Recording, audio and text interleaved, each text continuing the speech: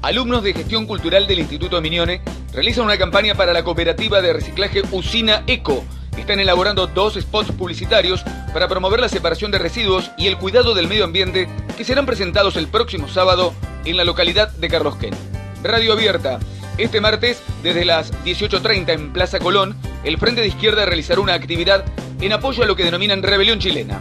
Firmarán un petitorio, habrá música y se leerán poemas. La intención, señalan desde el FIT, es acompañar a la gran marcha convocada por el encuentro Memoria, Verdad y Justicia en Capital Federal. Muestra anual. En el Teatro Municipal Trinidad Guevara se presenta esta noche el espectáculo Antiprincesas del taller de teatro infantil y teatro adolescente Semillitas que dirige Laura Viera. La función comienza a las 20. Entrada 200 pesos.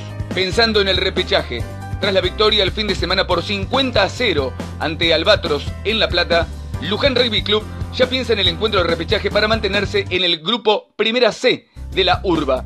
El próximo domingo, en el anexo del barrio La Loma, enfrentará a Las Cañas. Con un empate logrará el objetivo de quedarse en la categoría. El partido será televisado por Pares TV y el Civismo Digital. Luján Late. El sábado se corre en Jauregui una nueva edición de Luján Late prueba atlética a beneficio del Hospice Madre Teresa. Habrá varias modalidades. 10 kilómetros competitivos, 3 kilómetros participativos, caminata y carreras de 500 metros para los más chicos.